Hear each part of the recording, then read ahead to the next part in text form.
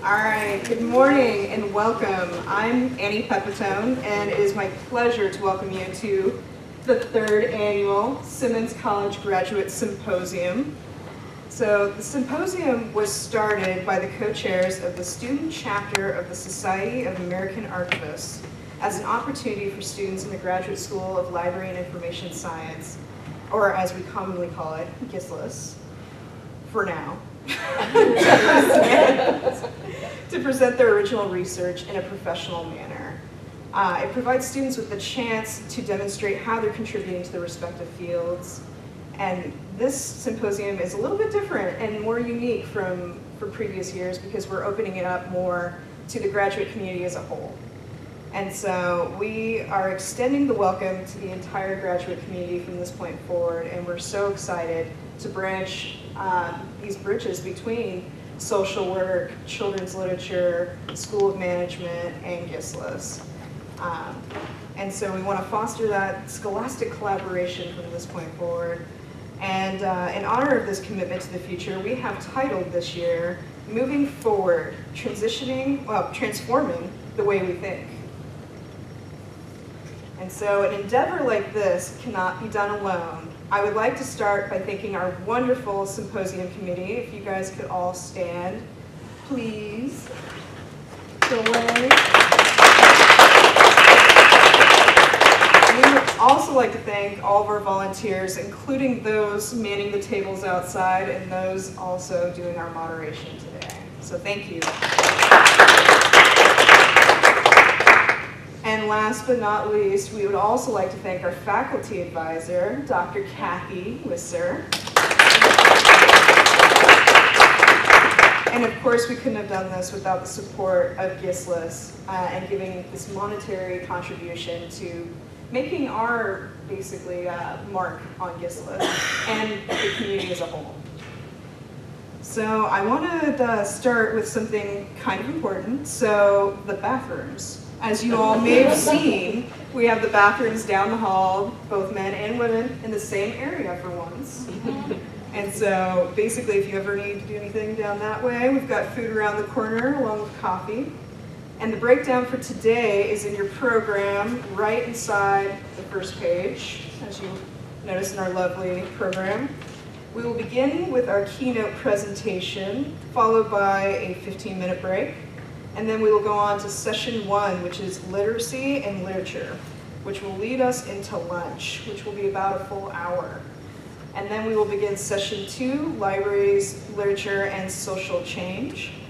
And then we'll have a brief break and begin session three, our last session, technological advances in libraries, archives, and museums. So this year, we are so excited and happy to welcome Michele Cloonan as our keynote speaker. When it comes to forward thinking in libraries, archives, and museums, Michele Cloonan is at the forefront. She is a professor and dean emerita of the Graduate School of Library and Information Science here at Simmons. She's written widely in areas of preservation, book trade, history, and bibliography. Her recent publications have concerned the preservation of digital media and the ethical, social, and political aspects of preservation. Her commitment to the field is evidenced through her numerous appointments to and the involvement with professional organizations and institutions. Now, this is a long list because she is so dedicated. We've got the American Library Association, the American Printing History Association, and the Northeast Document Conservation Center. In pursuance of her interest in international preservation education, she is a member of the Preservation and Conservation section of the International Federation of Library Association Institutions from 2006 to 2009. She additionally coordinated a multi-university library initiative to train Iraqi libraries. Her work on preservation, cultural heritage, and exploring issues of change, continuity, and the future. Please give me a warm welcome for Michele Cloonan.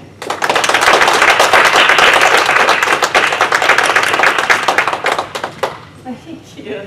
Very generous introduction.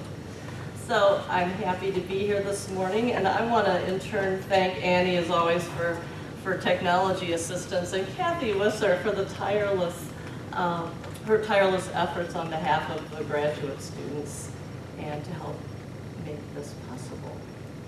So um, when Kathy asked me to do this, I asked her if I could revisit a talk I gave at the University of Texas in October. It's the annual um, Don Davis Library History Talk.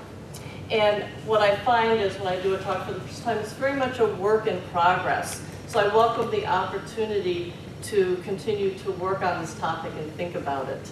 So um, that I will do. I don't have a clicker, so I'm behind the podium, and I will make an effort to step out from time to time. So um, we'll figure out how this will work. So uh, will libraries of the future preserve cultural heritage? Sometimes inspiration strikes at home or close by.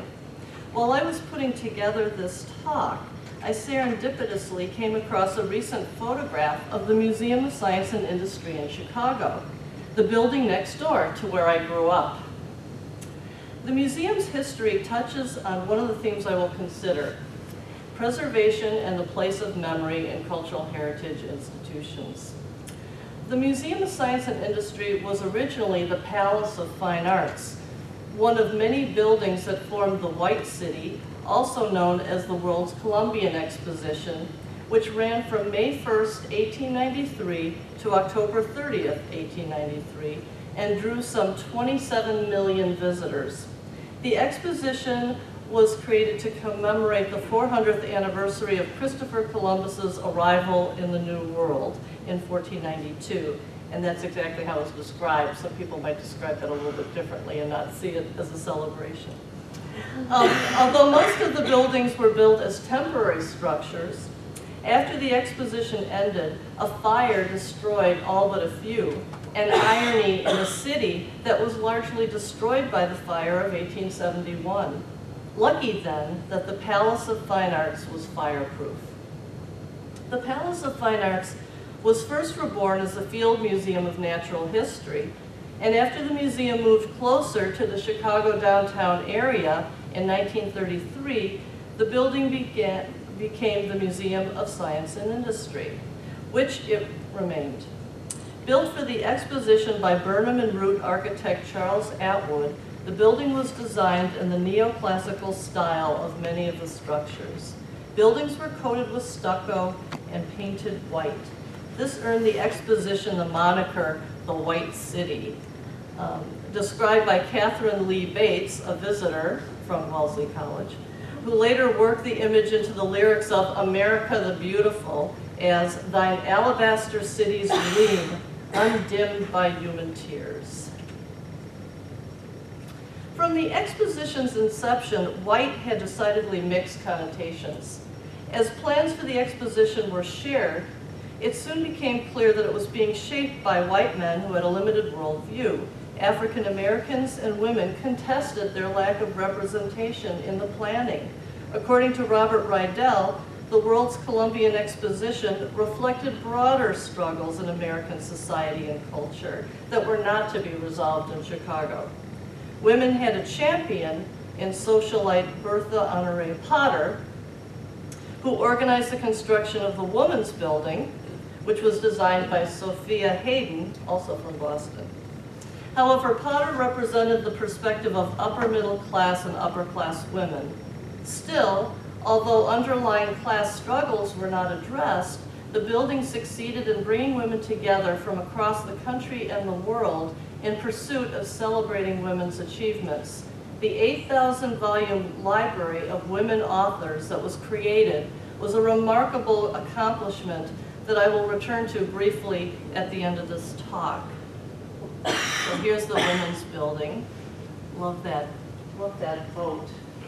The gondola. That hasn't, that lagoon part didn't survive, unfortunately. And there's another, there's a photo of the women's building. The once gleaming towers of the now disappeared World's Columbian Exposition cast a shadow on late 19th and early 20th century American history. Yet walking around the back of the Museum of Science and Industry today, where the lagoon laps up against the building's rear steps, and the graceful designs of Frederick Law Olmsted's Park can still be enjoyed, and it creates a sense of historical continuity. Expeditions showcase progress and help people build an optimism about the future. As the one remaining structure on the exposition site, the Museum of Science and Industry continues to aspire to the future. Um, just parenthetically, last year they did a 3D reenactment of the Columbian Exposition. So as I mentioned, only a few of the buildings survived the fire. Two stand in place, while three others moved. One to Brookline, just a few blocks from here. The Dutch House at 20 Netherlands Road um, served as the Dutch Cocoa House at the exposition. It is a copy of a town hall in Franeker, Netherlands, and it was added to the National Register of Historic Places in 1986. Photos that I took of it um, just a couple days ago illustrate memory and preservation. I wanted to get two photos in here. The, the building's wrapped, and I, I went there um, the other morning, and there's construction going on there, so I suspect that it's being um, renovated now. Memory, preservation, and heritage are terms I will use in this talk. Memory must, most commonly refers to retaining and recalling experience. It can refer to individual and collective experiences. Psychologists, philosophers, historians, neurologists, and scholars from other disciplines draw upon memory studies in different ways. Preservation is similarly used in a number of disciplines. Here I use it to mean the care of movable, immovable, natural, man-made, and socially constructed heritage. Care refers to proper storage and use, physical treatment, reformatting, education, and so on. There are limits to what we can preserve due to natural deterioration, global warming, acts of terrorism, war, and so on. Heritage refers to that which has come to us from the past. Heritage helps us to form our memories. Much of the time, heritage can be preserved. To place preservation in a library context, I will take a broad look at its 5,000 year history using a framework created by library historian and bibliographer Donald Krummel. Please excuse this necessarily brief historical gallop.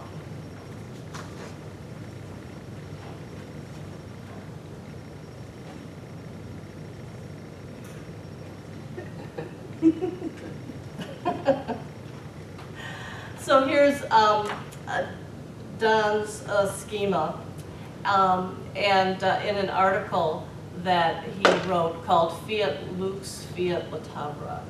So let there be light, but also let there be hiding places, retreats, lairs that are dark. That's the best I can do in terms of translating Latebra. In comparing his seven ages, Krummel reminds us of the persistent value of each type of library. New types of libraries don't necessarily replace old ones. Following each of Krummel's ages, I'll talk a little bit about the impact of the period on preservation. So the first one is, is um, 3000 BC, Quotidian, the Working Archive and Emerging Civilizations. The earliest libraries and archives preserved writings and records. They were also storehouses of information. Krummel refers in this first age to the Sumerians in the region of the Mesopotamia between the Tigris and Euphrates rivers, known as the Fertile Crescent, which is Iraq today. There was an emphasis on record keeping and safekeeping to maintain and preserve the government. From a preservation perspective, the ancient temples stored commercial and government documents, as well as religious and literary works. Many of the baked clay tablets from Mesopotamia have survived. Um, stage two, um, academic center of culture and the Alexandrian Library. I just, I love this image of the Alexandrian Library. Don't you want to go there? Yes. Yeah. It's just wonderful. Um, Krummel uses an example for this age, the Alexandrian Library, which was established by um, Ptolemy I in the 3rd century BC. The library catalog, or Pinakes, was created by the librarian and scholar Callimachus. Prior to the Pinakes, catalogs were primarily inventories. Callimachus organized works by author and title. In a sense, writes Krummel, the Pinakes established the first major literary canon. We would know more about this legendary library and academy if the catalog had survived. The Ptolemy rulers sought to acquire and preserve the entire corpus of Greek literature and significant works in other languages. Its eventual destruction came about as a result of several fires, regime changes, and changing cultural and religious influences. The Alexandrian Library offers a rich and complex history. The lack of preservation of its records or content points to some historical ironies. Amassing a collection in one place makes it vulnerable to disasters, natural and man-made, and the notion that you can control the information that you have collected, and often through coercive means, is itself a folly. For example, the Ptolemy rulers refused to export papyrus to Pergamon in order to discourage competition. This led to a Pyrrhic victory for the Alexandrian library. Pergamon craftsmen improved the quality of animal skins for writing by developing parchment, a much more permanent medium than papyrus, and more practical as well. A scribe could write on both sides of the skin, it became the dominant writing medium until papermaking was introduced to the West more than a millennium later. A centralized library collection is susceptible to vandalism and terrorism, as we are still regularly reminded. In 1986, an arsonist um, set fire to the Los Angeles Public Library, destroying 400,000 volumes. 20% of the Los Angeles Public Library's collections. And in 1992, as part of the siege of Sarajevo, the National and University Library of Bosnia and Herzegovina was destroyed, resulting in a loss of over a million books. So the next phase, the Middle Ages, which um, Krummel refers to as religious or the archival shrine. Um, and so I've, I've, to illustrate that, I have Monastery Scriptorium St. Jerome. Good stand-in for the Middle Ages. During the Middle Ages, the rule of St. Benedict of Nursia established precepts for monastic living, prayer and work. Sounds like today, doesn't it? I don't know about the prayer part necessarily, but the work part, definitely still rings true. Um, Flavius Aurelius Cassiodorus established rules for transcribing and maintaining manuscripts and general guides for library maintenance. The texts of classical writings were copied and distributed to monasteries throughout Europe. Perhaps an early example of the notion that lots of copies keep stuff safe later coined by Thomas Jefferson a few centuries later, and of course part of LOCKSS and CLOCKSS for those of you who study digital preservation. Um, so I had to throw this in here. This is the Higgins Armory in Worcester. Have any of you been there? Um, Higgins uh, was part of um, a wealthy family some hundred years ago who fell in love with medieval armor and collected it. This is one of the most precious museums, and he built a castle in Worcester for it which for a number of reasons was impossible to preserve and it closed on December 31st. So I got this picture, or Candy actually, Candy Schwartz took this picture for me um, last fall and it's now got this collection which in this purpose-built museum um, is going to be absorbed by the Worcester Art Museum, although a lot of it's been auctioned off um, to raise funds to save the collection. So So next, on to humanism, testimony to virtue. Um, Giovanni Boccaccio and other 14th century Italian scholars believed that much could be learned from antiquity. Indeed, this insight led to some of the achievements of the Renaissance. Uh, Petrarch, who rediscovered Cicero's letters, is often dubbed the father of humanism. Petrarch formed an important personal library. Many such libraries would be created during the Renaissance, mostly by noblemen, and most of them were later dispersed. Nonetheless, the time was right, in Krummel's words, for learning, literacy, and libraries.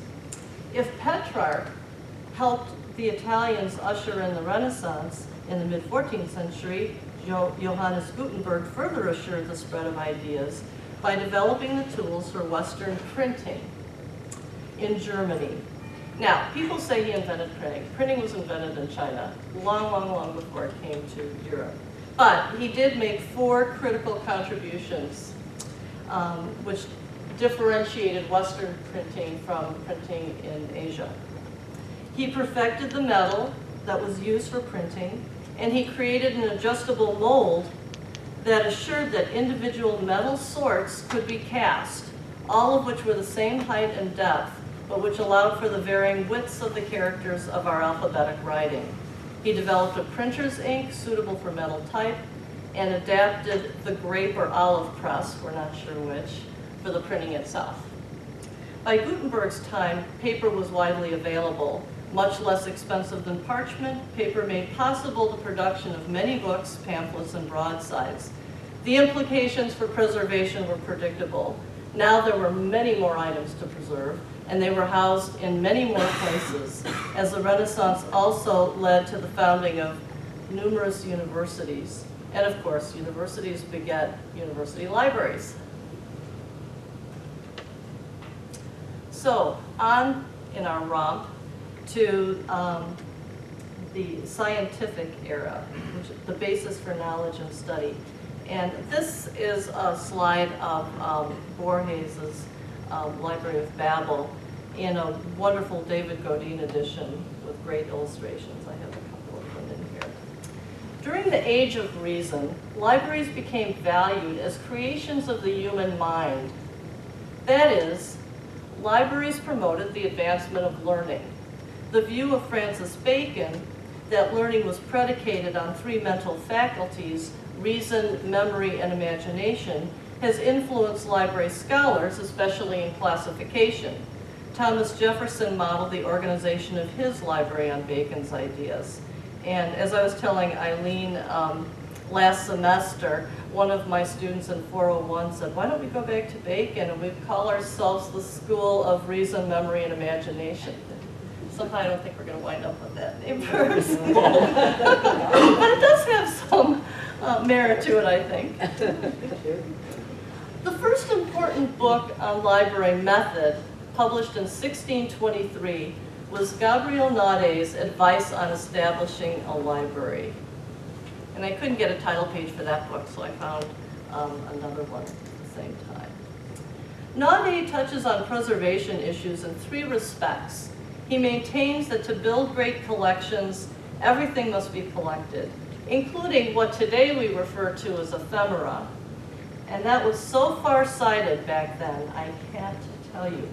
In a section of his manual on caring for collections, he discourages the unnecessary rebinding of books, and he proposes that libraries be housed in safe environments free of dirt, mo moisture, and noise. A second book on librarianship was published 23 years later in 1650, John Drury's The Reformed Library Keeper.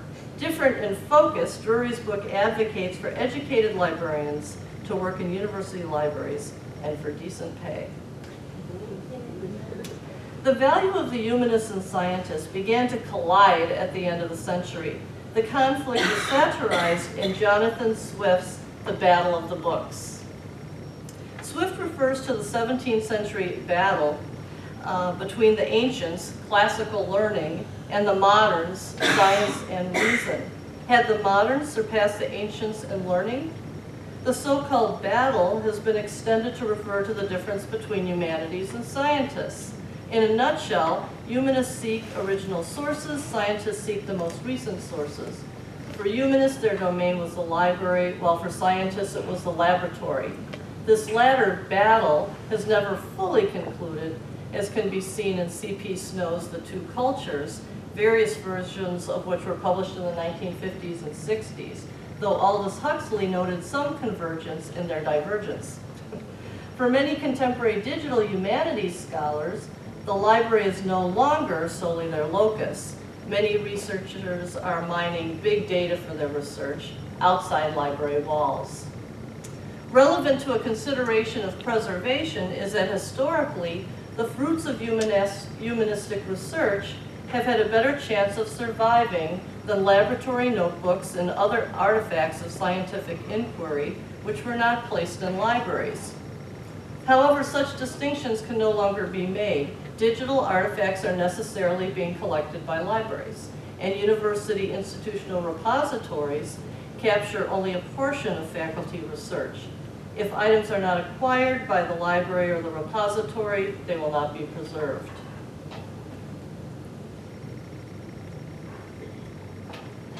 So on to the end of the Enlightenment and into the 19th century. Democratic, the library is instrument for social betterment, and what better illustration than our very own Boston Public Library. The age of democracy can be measured in library terms by the new types of libraries that were created and the tools that help users navigate collections. Krummel's inventory includes the development of national libraries, national bibliographies, which describe the nation's publishing output, national copyright legislation, national learned institutions, national archives, national education systems, and public libraries. Not all of these started in the 19th century, but they certainly came to fruition then. Also in the 19th century, high-speed printing presses made it possible to produce even greater numbers of books, periodicals, and ephemera. You know, it's very common now for people to say, you know, that we're going through the biggest revolution since Gutenberg, you know. It's always Gutenberg, Gutenberg, Gutenberg. But actually in the 19th century, high-speed printing presses made newspapers possible. The genre of the newspaper was developed earlier, but it couldn't be so widely and rapidly disseminated until you had the technology which allowed for um, printing millions of copies instead of thousands of copies. That's a huge magnitude. And um, when I was doing research for something else a number of years ago, I found an article on nervous exhaustion because the public now had so much literature coming at them, which I love because we talk about that now. But um, it, there were a lot of reasons why that happened with the Industrial Revolution, more people being educated, also the rise of other kinds of libraries, um, so more reading, more kinds of literature, yellowbacks, you know, available on railroad stations. It was just too much to take in. So they thought, maybe we would, we should have just quit at that point and not produced anything. then we wouldn't be exhausted anyway. So demands for paper increased, which led to the mass production of poor quality paper. More publications were produced than ever before, but of inferior quality. Add to this air pollution, which was the byproduct of the Industrial Revolution. Books decayed in unair-conditioned stacks in the world's urban libraries. Access to books increased with the rise of public libraries. A new emphasis on users and their needs led to the further deterioration of collections. The higher use of inherently fragile 19th century publications further accelerated their deterioration.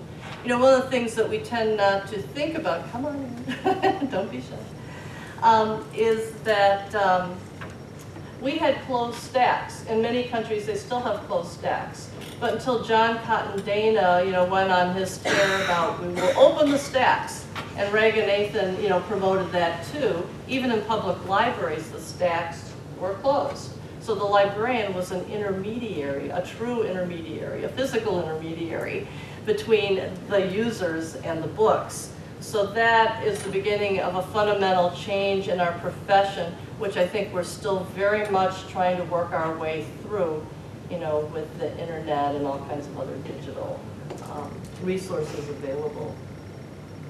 Use is a challenge to preservation.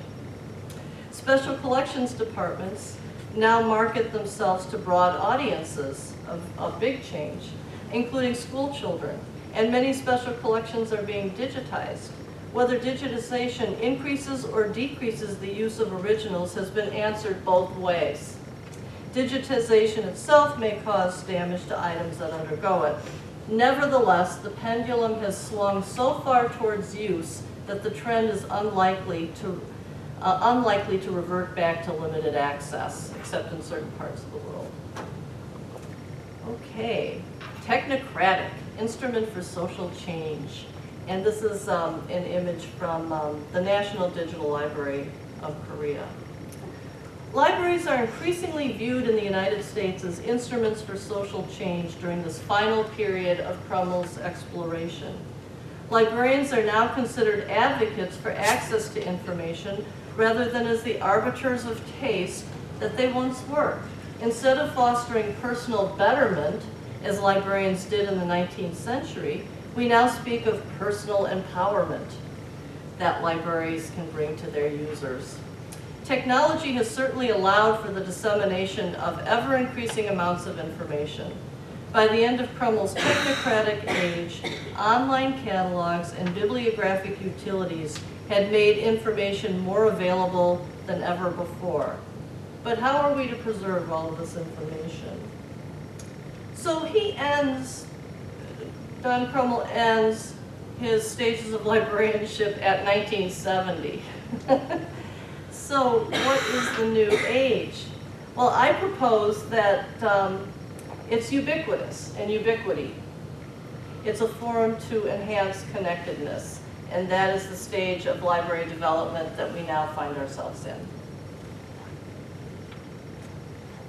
What age are libraries in now?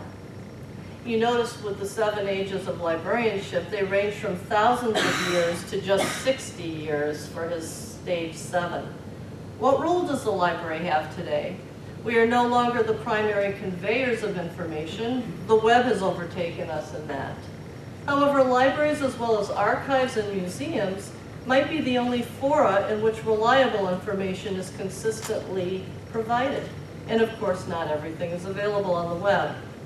At the same time, we must not look at the two entities, the web and libraries, as mutually apart. In fact, as has been the practice in libraries for centuries, they have taken technological advancements from outside the library into their operations. That is, libraries are embracing the web as one of its many tools to enable them to fulfill their primary mandate of linking patrons with the information they need. One of Krummel's conclusions is that no critical ideal of Latebra would argue for preserving the whole record of human civilization. Isn't the real problem that everyone wants to talk and no one wants to listen? Too many authors, too few readers? We've all seen lots of Latebra in libraries that look mighty unlikely to contain much Lux. All that we need now is to figure out what is significant, in quotes. Given Aristotle's proposal that man is by nature curious, can zero population growth in libraries ever be compatible with freedom of expression? I'm not sure if Krummel is on the right track with the notion of zero population growth in libraries. Given the proliferation of the books in the world and all media, huge numbers of which are not available digitally, I believe that libraries will continue to grow even as collections are being moved to off-site storage facilities to make space for more social activities in the physical library. I think that's a little bit of um, a confusion in the stage we're in right now. Uh, at least in academic libraries, there's quite a big move to build off-site storage facilities and free up more space in the library. And if the books are off-site, will they be out of mind? We have shifted our focus from technology to ubiquity. Library services, virtual or face-to-face 24-7. Assuming that an increasing amount of information is being created digitally, how will we preserve it? Despite many efforts to preserve digitized and born digital media, there's still no consensus about the steps needed to manage it over time. Um, Bill LeFurgy is one of the editors of the Library of Congress's Signal, which is really the go-to place, I think, for thinking about um, important digital preservation issues. And he says, everyone agrees that preserving files requires at least some basic level of intellectual control, a general description, file format identification, and other minimal metadata. We need multiple copies stored at a distance from each other. We need an ongoing audit process to check fixity to ensure files aren't getting corrupted. And we need a security regime to limit who manages and has access to stored files. Um, couldn't agree with him more. Increasingly, digital preservation calls for collaborative approaches since few, if any, individual libraries will have the resources to go it alone. For example, the Hathi Trust is a large-scale repository of digital content from over 80 research libraries. But what they are preserving is still only a fraction of the world's texts, and it's based, it was based initially on the Google Books project. The longevity of their trust cannot be assured. The rhetoric for our digital future is strong. Here are some phrases that I've jotted down at recent library conferences. Is this digital determinism? Okay, and here's the quotes. From stored knowledge to smart knowledge, we must make knowledge more usable. Connecting, not just collecting. We must embrace different forms of ownership. It's not just about access, it's about the reuse of information. Why would we want old access models for new media? All of these quotes beg the question. They presume that the digital dilemma of preservation has been solved. But has it? Is this our vision for the future of libraries, or is it just a series of best guesses about the role of the library? Implicit through the seven ages is the library as place, Latebra. Dynamic and striking library buildings, large and small, public and private, continue to be built. A clear example of this is evidenced in the annual April issue of American Libraries, which until this year, actually, I just read the April issue, um, for the last 20, 30 years has been devoted to library buildings and renovations. But increasingly, many collections are being moved off-site and the library space is being reallocated as communal user space. In many cases, libraries today are defined less and less by their physical collections. In fact, you know, the Association of Research Libraries uh, used to rank the top 123 research libraries by the size of their collection, and now it's by um, other measures, including how much they spend on, on the library. So that is um, a, a significant shift, that we're not thinking in terms of pure numbers and looking at the value of our collections anymore, in universities anyway. But this is short-sighted. The physical collections have a lasting value that may not be equaled by their digital counterparts. Better to define a library, I think, by the totality of its services, which will include being able to supply its patrons with information in a variety of media, analog and digital.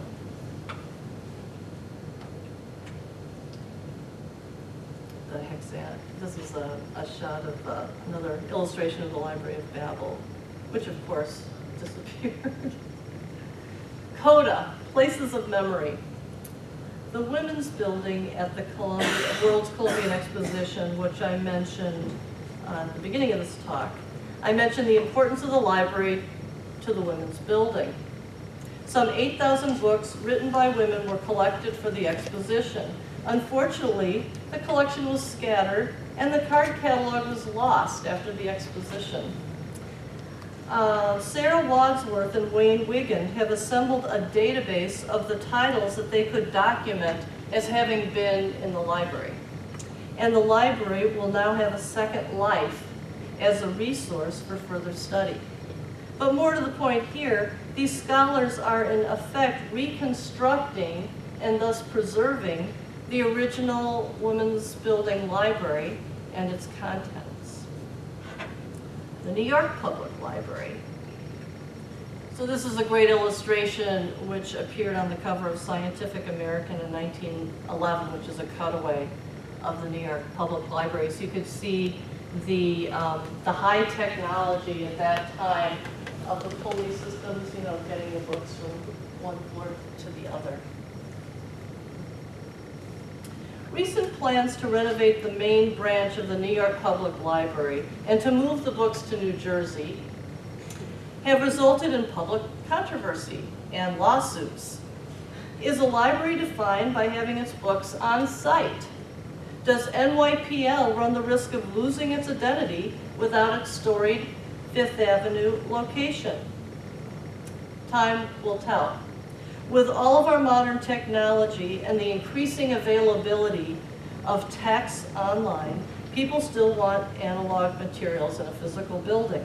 The materiality of the building and its contents are part of the experience and memory contained in a library. And I love the fact that the lions at NYPL are called Fortitude and Patience. While all of this is playing itself out in the front pages of the newspapers, there they are. Do we preserve the collections and the space? How tightly are these two intertwined?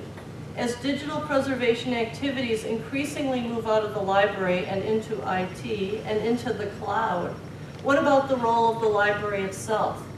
In the 1987 film Slow Fires, then librarian Pat Battin predicted that libraries would move to a leasing model rather than an ownership model of collections. So she was saying that in 1987. It's pretty remarkable. That prediction has turned out to be somewhat accurate.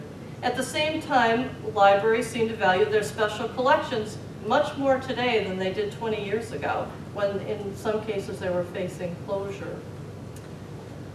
The ability to digitize these assets seems to have, enhanced their value in the eyes of some administrators. But let us not lose sight of the library as our collective memory. Libraries, archives, and museums remind us of our traditions, our history, and our cultural heritage. Whether memory is best served in physical or virtual places remains to be seen. But as I hope I've conveyed, the library can be the locus of all kinds of memory in several forms, each with its own, own longevity. Thank you.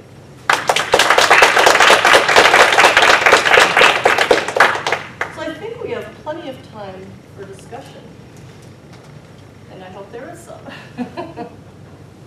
Yeah, Um, my question is, when digitizing items such as special collections, usually special collections are coming from institutions that don't always have um, a lot of resources to do so. Whether it's them not having the technology to do so on site, or not having the finances to physically have another business, big or small, do it for them. So I I can see for probably a long time to come that there's going to be kind of this standstill unless new types of maybe inexpensive digitization comes about to be able to actually spread more knowledge, so to speak. I just wanted to see what you when thought you about that. yeah, when you say a standstill, Well, in the you mean by sense that? that, um, I think for at least a few years now, we've been to the point where, you know, you've digitized books and records in one specific way. And, um, resources are not exactly getting easier to find in the field of libraries or archives and even museums nowadays. Um, so this challenge, I think, presents itself. I mean, do you feel that eventually there'll be some sort of push to be able to get more material out more easily?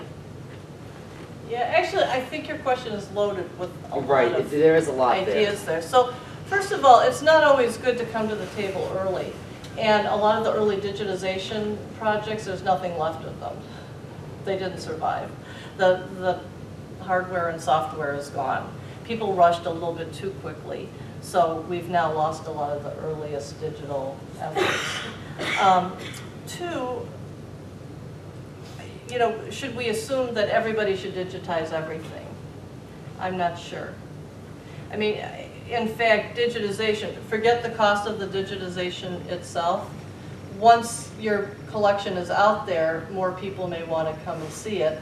And if you're, and you see this more in New England because there's many more historical collections in many more kinds of institutions. Can you handle people coming to, to see your materials? Sometimes you don't even have the staffing for. Um, So it's not necessarily, necessarily a good thing. And actually, interesting, um, when the Google digitization project started, they didn't do special collections because they couldn't do it cheaply enough um, and quickly enough.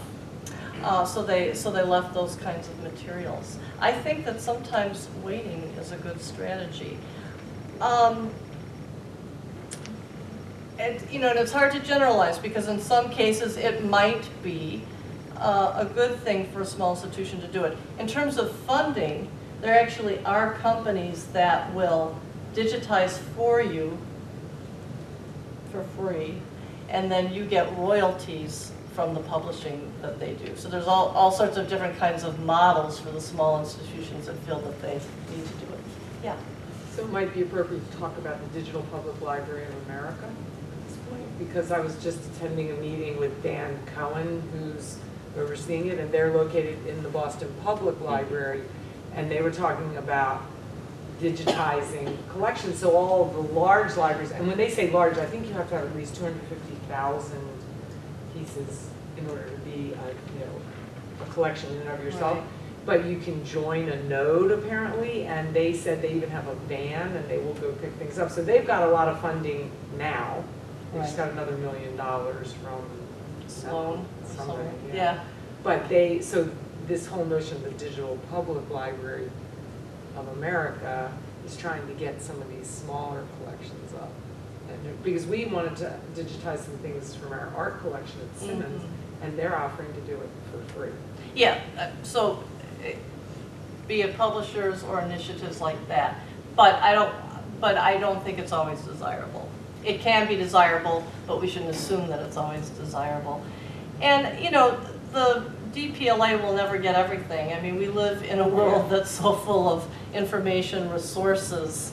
Um, We'll never have universal bibliographic control, for those of us who went to an LAS programs a few years ago, and people were still talking about the desirability of UBC. So, yeah. Um, so you talk a lot about the library as place, and I really, I love the, uh, well, I love the evolution of the library that you, that you uncovered. How do we deal with the perception of library as place in, to- in today's age? And, and can you talk a little bit about how the perception of libraries was in the past? I mean, because we all love libraries, um, but it's not up to us to keep the doors open and to, to re, I mean, yeah, maybe it is up to us to reassert the importance of libraries in our society. Um, Can you talk just a little bit about that? Sure. How do you convince folks on the Green Line that we keep our libraries open? if we have something for them. Um, you know, I- really, things changed fundamentally in the 19th century. You read that there were public libraries in Rome. Rome was a city full of slaves. I mean, who was going to those public libraries in Rome? A very small group of people.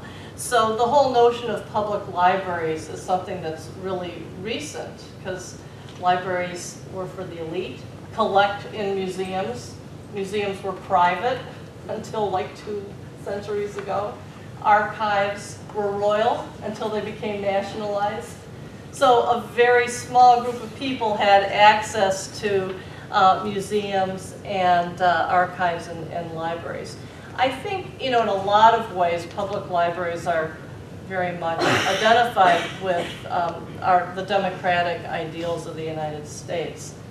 Um, but there's been a lot of library history that um, has really debunked the myths that we serve everybody. And there were some large-scale studies done um, in the, well, beginning in the 1920s or 30s, and then a rather large one was done in the 1940s that showed that um, most people who used libraries were, you know, of a certain social class. um, our notion has really evolved about what we do for our users. And New York Public was, and I'm sure Boston Public, it's just more has been written about New York Public. It was a place to learn English for recent immigrants. There was a big thrust on um, teaching people English. So obviously there was an agenda, and also for getting people off the streets who were drunks and public nuisances. So there was a whole movement in the, with the YMCA's to have libraries in the YMCA's as well.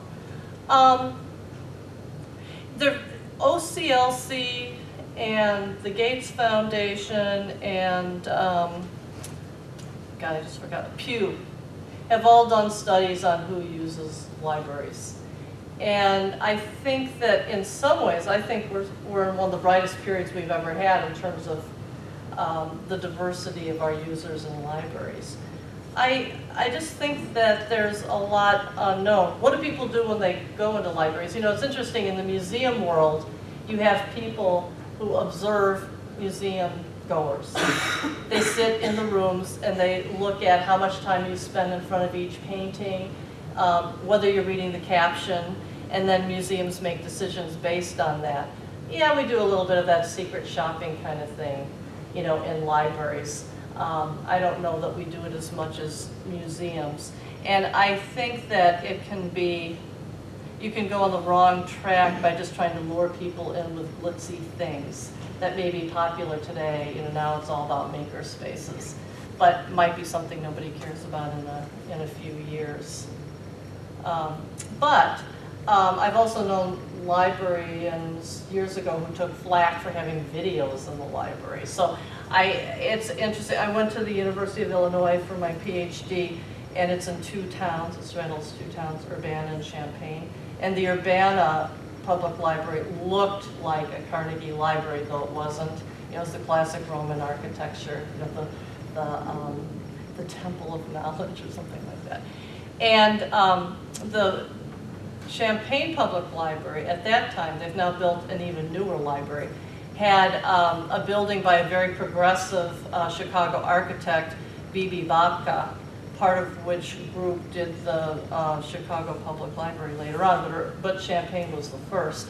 They lent posters and videos and movies back in the early 80s before this was widespread. You couldn't even get in the parking lot of that library and it was very quiet in Urbana. But Urbana served its community. That's what they wanted in Urbana, and that's what they wanted in Champaign. So that's why we talk about the important, the importance of um, assessment, um, so that we really understand community needs and changes in the community for providing the kinds of services that we do.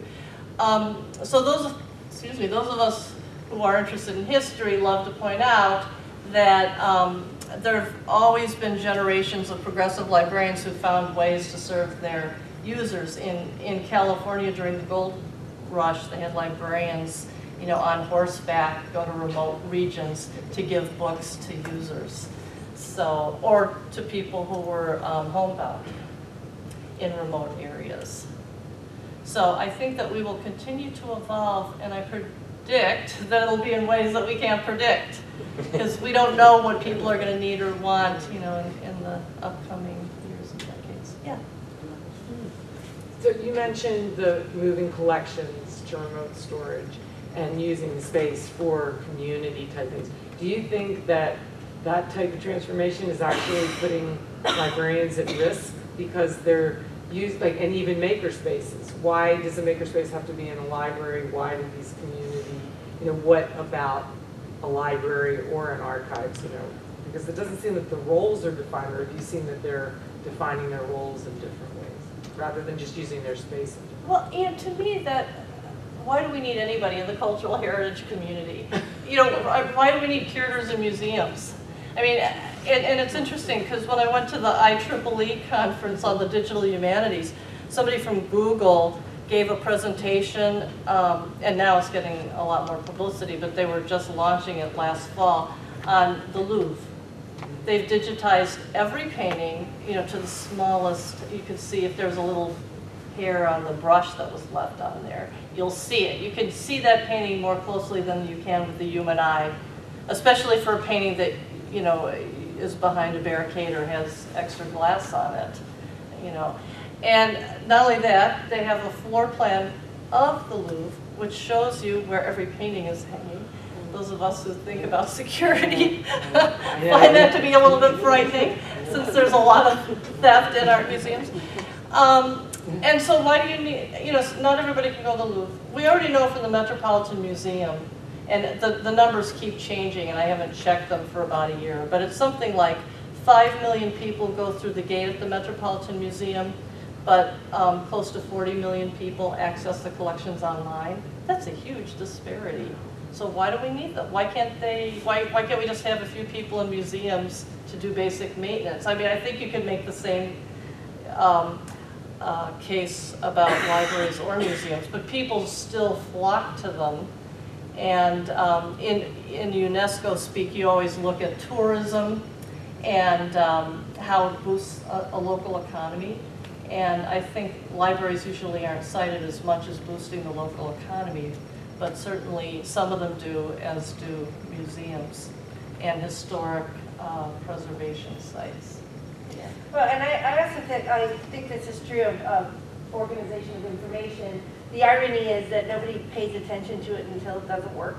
And then all of a sudden, Right. you know, it, so the great thing is that we have jobs and if we do it well, nobody knows that we're doing it, mm-hmm. right? So I think that that's also part of librarianship of the future is, as long as we do it well, nobody will notice us. Yeah, and our roles will change. I mean, I'm wondering what's going to happen to the collections, actually, because already in the, the ARL group, they're, they don't all want to pay the storage for the offsite storage, how many copies, you know, they're debating issues like how many copies do we need? Um, and I think there's a real fundamental shift going on in collections. You know, as I said before, it used to be all about the numbers. And believe me, you know, Illinois was number three after Harvard and Yale. And I heard that every day of the time I was there. They had to stay number three. um, of university libraries, it is obviously New York Public and Library of Congress were bigger.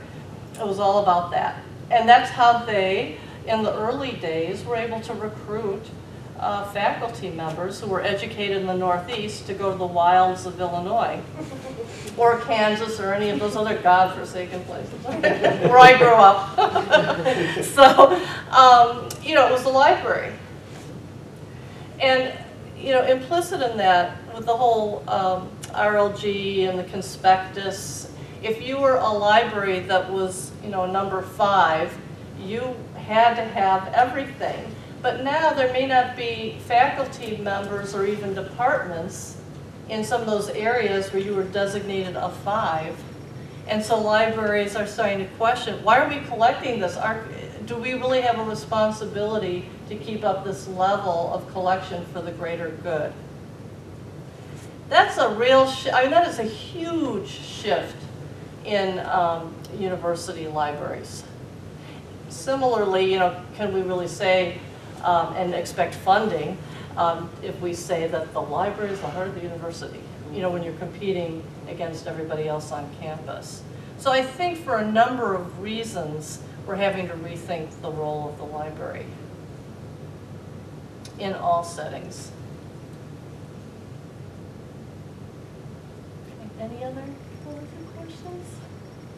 I didn't talk that much about museums and archives in here because the focus was more on, on libraries, but obviously, you know, I tend to think of the cultural heritage institutions uh, more as a whole, because there's certainly a lot of commonalities as we try to think through these issues. Yeah, Mm, On, on that issue of how libraries, archives, and museums are joined in this union of cultural heritage institutions, uh, I wonder if if anyone reads the, the Times Literary Supplement, because in, in the current issue, there's a column about how the National Trust in England, uh, it has many libraries that are part of the historic properties that have been donated to it, that are exceedingly difficult to use, not only in terms of being able to look at the books, but even in terms of being able to find out what books are in a particular collection associated with, you know, some, some artist or author